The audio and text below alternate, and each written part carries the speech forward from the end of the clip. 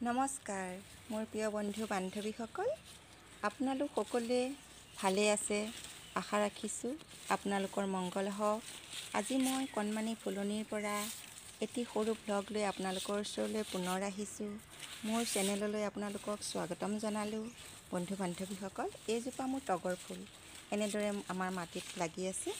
মই অলপমান খান্দি পেলাই ইয়াত যতন লওঁ বুলি ভাবিলোঁ। এতিয়া জানুৱাৰী মাহ অলপ দিনৰ মাৰ্চ এপ্ৰিলততো এয়া ফুল ফুলিবই নহয় জানো? সেইকাৰণে ভাবিলোঁ আজি মই তগৰ ফুলজোপা অলপ যতন লওঁ। আহকচোন চাওঁ মোৰ ব্লগটো। এনেদৰে মোৰ কোৰখনেৰে সৈতে মই এইখিনি গুড়িটো একেবাৰে গুড়িত খন্দা নাই মই অলপ আঁতৰত খান্দিছোঁ। এনেদৰে মই খান্দি ল'লোঁ। এয়া খান্দিছোঁ মই। মাটিত আছিলে গছডাল বহুত ডাঙৰ হৈ গৈছে। এজোপা ৰোৱাৰ দুবছৰ হৈছে মাটিত থকা কাৰণে বেছি ডাঙৰ হৈ গৈছে এজোপা। এই আছে মই এনেদৰে খান্দি ল'লোঁ মাটিখিনি।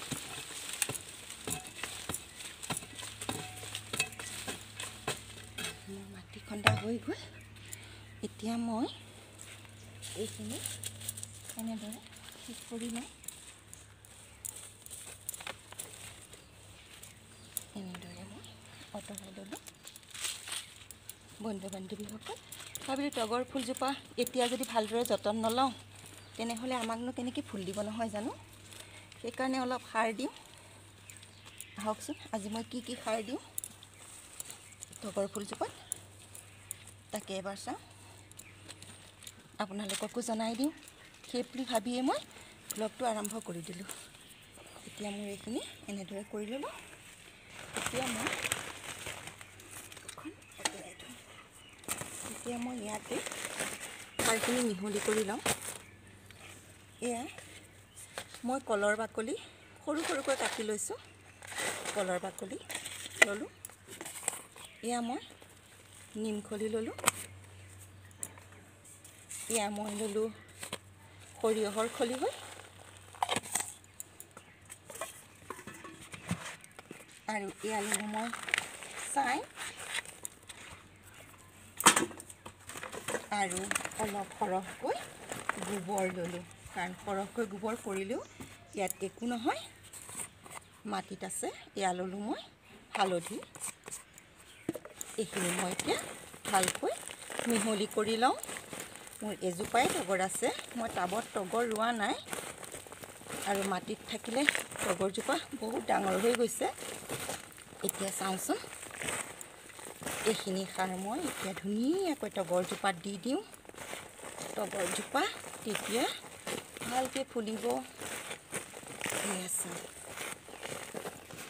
তগৰৰ পাতটো কেতিয়াবা হালধীয়া ধৰণৰ হৈ যায়। তেতিয়া ভয় কৰিব নালাগে সেইটো প্ৰাকৃতিক নিয়মেই হয়। হালধীয়া হৈ পৰিব সৰিব। তাৰ পাছতহে আকৌ নতুনকৈ শুকা মেলিব আৰু আমাক বহুত ফুল দিব। ফুলৰ গোন্ধ একেবাৰে ফুলনিখন আমোলমোলাই থাকিব। আপোনালোকেও তগৰ ফুল লগাইছেনে বাৰু? লগাইছে চাগে।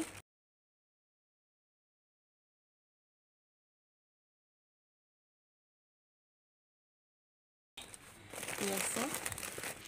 এতিয়া মই সাৰখিনি এনেদৰে দি দিলোঁ। ভালদৰে মিহলি কৰি মই সাৰখিনি এনেদৰে দি দিলোঁ। এয়া চাওকচোন মই তগৰ ফুলৰ যতন এনেদৰেই ল'লোঁ। এয়া চাওক এতিয়া মই এইখিনি মাটি এনেদৰে দি দিওঁ। আমাৰ মাটিখিনি এইপিনৰ মাটিখিনি নতুনকৈ পেলোৱা হৈছিল বহুত টান হয় মাটিখিনি। এয়া মই মোৰ মাটিখিনি এনেদৰে চপাই দিলোঁ।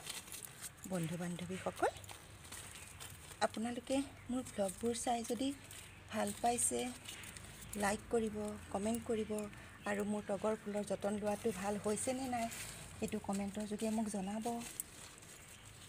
আৰু ন- যিসকল নতুন বন্ধু বান্ধৱীয়ে মোৰ চেনেলটো চাইছে তেওঁলোকক মই অনুৰোধ কৰিম তেওঁলোকে যাতে মোৰ চেনেলটো ছাবস্ক্ৰাইব কৰি দিয়ে। যিসকল বন্ধু বান্ধৱীয়ে মোৰ চেনেলটো ইতিমধ্যে ছাবস্ক্ৰাইব কৰি গ'ল তেওঁলোকক মই বহুত বহুত বহুত ধন্যবাদ জনালোঁ। মোৰ মই যেনেদৰে তগৰজোপা যতন লওঁ আপোনালোককো দেখুৱালোঁ। আপোনালোকেও যদি যতন ল'ব খোজে এনেদৰে ল'ব পাৰে। মাজে মাজে তগৰৰ পাতত ছাই ছটিয়াব লাগে নতুবা নিম অইল স্প্ৰে কৰিব লাগে। তেতিয়া পাতবিলাক পোকে নাখায়। তগৰ ফুলত অৱশ্যে মই পোকে খোৱা দেখা নাই কিজানিবা মই যতন লৈ থকাৰ কাৰণেও নাখাব পাৰে। মই এনেদৰেই যতন লৈ থাকোঁ। এতিয়া মই ইয়াত পানী দিম। এয়া চাওকচোন। মই এনেদৰে পানী দিলোঁ। পোন্ধৰ বিছ দিনৰ মূৰে মূৰে পনীয় সাৰটো দিব লাগে। খলি হৈ পনীয় সাৰটো নহ'লে চকৰ চক ভিজাই থৈ ৰাতি পিছদিনা দিব পৰা যায়। নহ'বা চূণৰ পানী দিব পাৰে। অলপমান মই এনেদৰে পাতটো ছটিয়াই দিছোঁ।